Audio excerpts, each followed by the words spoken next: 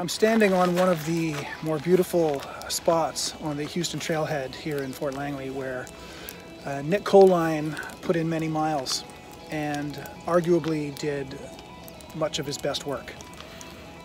Nick was not only a, a voracious uh, cross-country runner and a 1500 and 3000 meter runner who excelled at many levels um, but it was here in places like this where he did he did most of uh, his earning of this complete champion award. A couple years back when the team went through a bit of turmoil when some athletes decided to, to leave the program and others decided to sort of disengage and, and um, check out a little bit. Nick made the important decision to, to stay, to remain. Um, and not only just to stay, but to engage with the team in a way that I think will have uh, lasting positive reverberations for many, many years. Uh, Nick chose to invest in his teammates.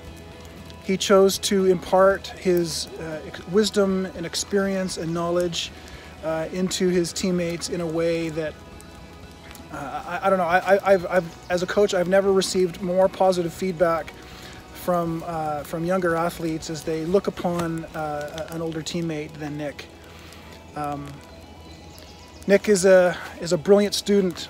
Um, he is one of our spiritual leaders, one of our captains. Uh, and when Nick says something, uh, not only to the to the team of captains, but also uh, in a team meeting or even to me as a, as a coach. Um, we listen.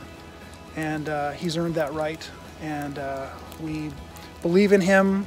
We are so grateful that he made the choice that he did and the series of choices that he made afterwards uh, to make this team, to make this department, to make this school a better place. And it's with blessing and uh, encouragement that we all say to you, Nick, thank you.